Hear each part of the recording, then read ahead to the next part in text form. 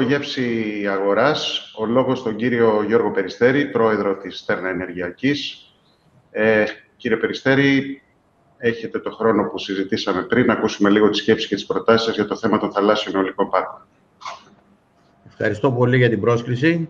Ε, ευχαριστώ και τους προλαλήσαντες για την ποιότητα των τοποθετήσεων. Ήταν υψηλό του επίπεδου. Και για να συνεχίσω, κύριε Λαδακάκο, από κάτι που είπατε, ε, να δούμε τα κακά και τα καλά των προηγουμένων εμπειριών. Και αναφέρομαι στην εμπειρία του 2010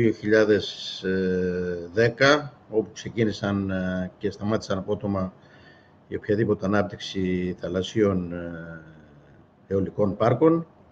Όπως επίσης ε, ας σκεφτούμε αν θα είχε γίνει κανένα επίγειο αιωλικό πάρκο αν ακολουθούνταν η τακτική που, απεφάσισε το κράτος το 2010. Αυτά όμως είναι πράγματα του παρελθόντος. Θα μιλήσουμε για το μέλλον, το οποίο θα πρέπει να το προετοιμάσουμε από τώρα. Και θα ξεκινήσω από κάτι που είπε και ο Υπουργός και η κυρία Γενική Γραμματέας, δηλαδή ότι ένα ζητούμενο είναι η συντόμευση του χρόνου υλοποίησης, ότι μπορούμε να πάρουμε εμπειρία από άλλες χώρες Μεσογείου και αυτό που είπε και η κυρία Γενική Γραμματέας, ότι παρόλο που έχουν γίνει κάποιες σκέψεις μέσα στο Υπουργείο που δεν θα ήθελε να μας ανακοινώσει, δεν διακατέχεται από καμία προκατάληψη και θα ακούσουμε πολύ μεγάλο ενδιαφέρον τις ε, διάφορες απόψεις που μπορούν να είναι βάσιμες και στέρεες. Ε, ε και να πούμε και ένα άλλο, μια, μια άλλη παγκόσμια αλήθεια πριν πω στα ιδιαίτερα, ότι το άριστον είναι εχθρός του καλού και του πολύ καλού. Λοιπόν, στην Ευρώπη, λοιπόν, ε, καταρχάς στην Ελλάδα, λόγω της μορφολογίας του πυθμένα, ε, για μεγάλη ε, εγκατεστημένη ισχύ, θα πρέπει να αναφερόμαστε κυρίως σε πλωτά ε, ολικά πάρκα, λόγω των μεγάλων βαθών. Στην Ευρώπη, λοιπόν, υπάρχουν 233 ΜΒ ε, πλωτά ε, πάρκα σε φάση λειτουργίας ή υποκατασκευή, ενώ υπάρχουν 16 ΓΒ offshore, ενώ με fixed bottom. Ε, χώρες ε, που είναι στη Μεσόγειο, όπως η Γαλλία, η Πορτογαλία, η Ισπανία κλπ. Ε, ακολουθούν ένα μεικτό σύστημα, το οποίο ε, σήμερα που μιλάμε επιτρέπει να διοδοτούνται περίπου 10,6 ΓΒ με ιδιωτική πρωτοβουλία και τα οποία αναμένεται να κατασκευαστούν μέχρι το 2027 έως 2030. Υπάρχουν ε, πολύ μεγάλες παγκόσμιου μεγέθους εταιρείες που έχουν αναπτύξει τέτοιες πρωτοβουλίες. Μια από αυτές είναι η Ocean Winds, η οποία είναι εταιρεία που συναισθήθη μεταξύ της πολύ μεγάλης EDF και της πολύ μεγάλης EDP. Ε, ε, με αυτήν συνεργαζόμαστε και θα συνεργαστούμε για τα προσπάθειά μας και τη δική μας προσπάθεια για τα πλωτά αιωλικά πάρκα. Είναι η Berdrolla, είναι η Shell, η Total Όλες αυτές λοιπόν έχουν κάνει προτάσεις για διάφορες περιοχές, οι οποίες ενδιαφέρθηκαν, έχουν κάνει τη δουλειά και προχωράνε στην αδειοδότηση. Μέσω αυτής της διαδικασίας που έχουν προηγηθεί οι ιδιώτες, έχει δημιουργηθεί απαραίτητη εμπειρία και βάσει αυτής της εμπειρίας αρχίζουν και προετοιμάζονται να προκυρωθούν διαγωνισμοί για συγκεκριμένες περιοχές περίπου ε, ισχύως 31 ΓΒ και οι οποίες αναμένεται να έχουν κατασκευαστεί αυτά τα πάρκα τα μέσω διαγωνισμών μεταξύ 30 και 35, δηλαδή σε δεύτερη φάση. Συνεπώς, το παράδειγμα στην Ευρώπη για ανάπτυξη πλωτών ε, ολικών πάρκων δείχνει πως οι ιδιώτες αναλαμβάνουν τα πρώτα χρόνια και το κόστος και τα ρίσκα της ανάπτυξης, καθώς το κράτος δημιουργεί το ρυθμιστικό πλαίσιο για να εντάξει, για να εντάξει μεγαλύτερο ανταγωνισμό και να διοδοτήσει ευρύτερες περιοχές. Εμείς νομίζουμε ότι αυτή είναι η σωστή μέθοδος. Είναι μια μεικτή μέθοδος, όπως την ανέφερε και η κυρία Σδούκου, και είναι κάτι το οποίο δεν ε, είναι και τόσο πολύ ε, πρωτάκουστο. Αν σκεφτούμε ότι ήδη από το 1999 υπάρχει ο νόμος που αναφέρεται σε περιοχές οργανωμένης ανάπτυξης ε, παραγωγικών δραστηριοτήτων για, για, για τη θάλασσα. Είναι ο νόμος 2742 του 1999 και θα μπορούσε εδώ πέρα να υπάρξει η μορφή των περιοχών οργανωμένης ανάπτυξης ε, πλωτών αιωλικών πάρκων.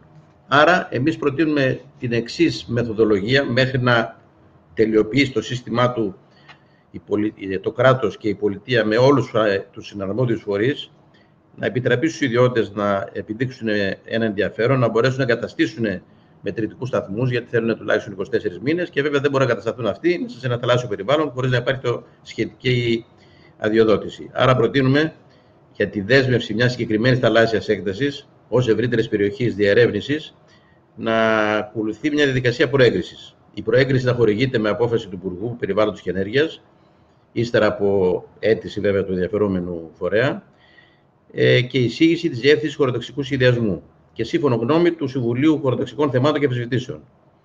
Η απόφαση αυτή αρχίζω και μπαίνω σε, πρακτικά θέματα, γιατί πρέπει να βγούμε σε πρακτικά θέματα για να δούμε πόσο θα συντομεύσουμε τη διαδικασία έναρξης της διαδικασία της ε, υλοποίησης. Ε, μετά από αυτό θα μπορούν να αρχίσουν οι έρευνες, δηλαδή η εγκατάσταση πλωτήρων με ανεμόμετρα και να αρχίσουν όλες οι έρευνες ε, προκειμένου να εξεταστούν όλες οι παράμετροι που είναι απαραίτητες. Προκειμένου να μην γίνεται ασίδωτα αυτές οι αιτήσεις και δεσμεύονται περιοχές χωρίς να υπάρχει πραγματικό ενδιαφέρον, προτείνουμε με την έκδοση της απόφασης προέγκριση ο ανάδοχος να υποχρεούται να καταβάλει ετήσιο αντάλλαγμα χρήσης για τη διάρκεια που δεσμεύει την εγκεκριμένη περιοχή και να προσκομίσει και εγγυητική επιστολή ως εγγύηση για οποιαδήποτε περιβαλλοντική αποκατάσταση ήθελε προκύψει. Συγχρόνως, ο ενδιαφερόμενος ε, φορέας ξεκινάει όλες τις απαραίτητες θαλάσσιες έρευνες και μετρήσεις, ε, δρομολογεί τις διαδικασίες στρατηγικού περιβαλλοντικής εκτίμησης και όλα αυτά τα οποία χρειάζονται για ένα έργο τέτοιας ε, συνθετότητα και τέτοιας ε, έκτασης μέσα στο θαλάσσιο περιβάλλον. Μετά μπορεί να ετηθεί την τελική χωροθέτηση του έργου, δηλαδή το ευρύτερο θαλάσσιο πολύγωμα που έχει καθοριστεί και να προχωρήσουν οι εγκρίσεις από τα συναρμόδια υπουργεία, γιατί στις θάλασσες μέσα είναι πολύ περισσότερα τα συναρμόδια υπουργεία και υπηρεσίες ε, και με κάποιο προεδρικό διάτομα να εγκρίνεται η σχετική στρατηγική μελέτη. Μετά το έργο θα μπει στο στάδιο της καθαυτό ενεργειακής και περιβαλλοντικής αδειοδότησης, ε, στη ΡΑΕ ε, κλπ. κλπ. Άρα, τι λέμε με αυτό, βεβαίως ε, να γίνει αυτό που ακούστηκαν σε προηγούμενες τοποθετήσεις ενός υπουργενέστερης πριν από ένα-δύο μήνες, μια εκτεταμένη δουλειά από την πολιτεία, ε, όπως ε, γινόταν ας πούμε, για την εκχώρηση θαλασσίων οικοπαίδων για έρευνες πετρελαίου, αλλά αυτό να μην αποτελέσει λόγο να καθυστερήσει εκδήλωση ενδιαφέροντος και επενδυτικής δραστηριότητας. Άρα, εμείς, ε, η εταιρεία μας και η Ocean Winds, με την οποία συνεργαζόμαστε για την προσπάθεια αυτή στα πλωτά αιωλικά πάρκα, προτείνουμε να συνυπάρχει ένα μεικτό σύστημα και ιδιωτικής πρωτοβουλίας, ενώ τελειοποιείται και γίνεται η εργασία αυτή που ανέφερε η κυρία Σδούκου και ο κύριος Μπακογιάννης για την τελειοποίηση αυτής της ε, έρευνας και την ε, ε, ακριβή χωροθέτηση όλων των περιοχών που δίνονται να υποτεχθούν θαλάσσια ολικά πάρκα ε, ως τη βέλτιστη λύση, δηλαδή το μεικτό σύστημα. Τώρα, ε, βεβαίως κρίσιμος είναι ο ρόλος του ΑΔΜΙΕ, ε, εκεί πέρα είναι μια θέμα πολιτικής απόφασης. Ε, Ποιος θα επιβαρύνεται για το κόστος αυτό. Παραδείγματος χάρη στη Γερμανία, καθά γνωρίζω, τουλάχιστον μέχρι πέρσι, η σύνδεση στα θαλάσσια αιωλικά πάρκα ε, γινόταν χωρίς επιβάρυνση του ηλεκτροπαραγωγού. Ε, άρα κοινωνικοποιείται με κάποιο τρόπο η, το κόστος της διασύνδεσης. Αυτό είναι καθαρά θέμα πολιτικής απόφασης και προφανώς αυτό θα έχει και επίπτωση και στην ε, τιμή της ε, αποζημίωσης και στην ε, τιμή με την οποία θα αποζημιώνεται η παραγωγή από το offshore αιωλικό πάρκο. Ε, επίσης, συμφωνώ απόλυτα με την ε, σκέψη της κυρίας Δούκου ότι μέχρι αυτό να μπει σε κάποια τροχιά, ας πούμε, ε, μεγάλης κλίμακος, τα πρώτα θα πρέπει να τα πρώτα offshore αιωλικά πάρκα θα πρέπει να είναι με κάποια τιμή προκαθοριζόμενη, ε, όπως είναι το individual notification και μόλις αρχίσει και τσουλάει η όλη υπόθεση να γίνονται μέσω ανοιχτών διαγωνισμών όπως γίνεται και σε άλλες χώρες ε, με απόλυτη διαφάνεια. Βέβαια, το θέμα του κόστους είναι ένα θέμα το οποίο δεν είναι εύκολο να λυθεί. Ο κύριος Γιαρέτης το έθεσε πολύ σωστά. Ε, άρα και εκεί πέρα η γνώμη του ΔΑΠΕΠ είναι πολύ κρίσιμη. Βεβαίως, το πρώτο αιωλικό πάρκο θαλάσσιο το οποίο θα μπει σε λειτουργία ή θα ηλεκτριστεί απέχει τουλάχιστον 6-5-6 χρόνια από σήμερα. Τα κόστη θα έχουν πέσει. Παρ' όλα αυτά δεν θα είναι συγκρίσιμα με ό,τι γνωρίζουμε σήμερα σαν κόστη επίγειων αιωλικών ή επίγειων φωτοβολταϊκών. Ε, αυτά τα λίγα ήθελα να πω, να μην σας ε, καταναλώσω άλλο χρόνο. Ε, σας ευχαριστώ πολύ και πάλι για την πρόσκληση. Αυτές είναι οι απόψεις οι δικές μας και της NDF και της NDP. Ε, εύχομαι καλή συνέχεια στο webinar και πάλι ευχαριστούμε την ΛΕΤΑΕΝ για την πρωτοβουλία και για την προσπάθεια και τον κόπο που κατανάλωσε για να το οργανώσει. Ευχαριστούμε πάρα πολύ κύριε Περιστέρη για την παρουσία σας και για τις πολύ ενδιαφέρουσες και χρήσιμες προτάσεις σας, τις οποίες καταγράφουμε όλες και θα τις επεξεργαστούμε. Ε, να διευκρινίσω ότι στο, στα επόμενα session και κυρίως στο τρίτο session θα, υπάρχει, θα υπάρχουν και άλλοι εκπρόσωποι της αγοράς. Θα ακούσουμε και τις δικές τους απόψεις. Και για να μην παρεξηγηθούμε, όταν λέμε αγορά, αγορά δεν είναι μόνο η παραγωγή ηλεκτρικής ενέργειας και η παραγωγή ΑΠΕ. Προφανώς αγορά είναι και όλο το supply chain, το οποίο είναι γύρω από το αντικείμενο των αιωλικών πάρκων.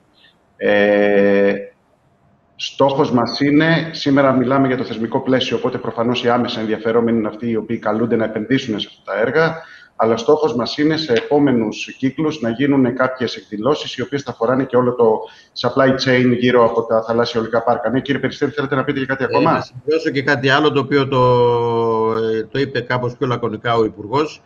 Ε, τα, πολύ περισσότερο τα σταθερά θαλάσσια ολικά πάρκα, αλλά και τα πλωτά, έχουν σημαντικά μεγαλύτερη προστιθέμενη ελληνική εγχώρια προστιθέμενη αξία από ότι ένα π.χ. φωτοβολταϊκό, λόγω της πολύ μεγάλης δαπάνης που απαιτείται για τις μεταλλικές κατασκευές, που είναι απαραίτητες για να συντηρηθεί να φυγεί η βιομηχανία μας, αλλά και της μεγάλης δαπάνης που ε, απαιτείται για τις διασυνδέσεις, όπου οι ελληνικές βιομηχανίες είναι απόλυτα σε θέση ε, ή θα εξελιχθούν για να μπορούν να είναι σε θέση να προμηθεύσουν ε, τον αναγκαίο εξοπλισμό καλωδίων. Άρα, για το, το γρηγορότερο που θα αρχίσουν να υλοποιείται το πρώτο θαλάσσιο ολικό πάρκος σημαίνει και μια αιμοδοσία που όλοι ξέρουμε πόσο απαραίτητη είναι στην ελληνική οικονομία μέσω της εφόρειας προσθέμενης αξίας. Ευχαριστώ και τελείωσα. Ευχαριστώ. Και εμείς ευχαριστούμε πάρα πολύ.